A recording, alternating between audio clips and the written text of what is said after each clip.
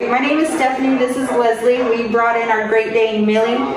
We brought her into Bulletproof because she needed to learn some obedience. Um, we want to be able to take her more to um, public places with us, and we want her to be more social with other dogs.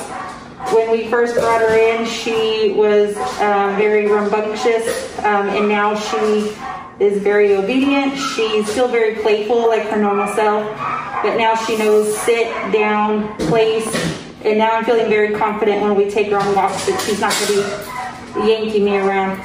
So feeling very happy with the results after the two-week program.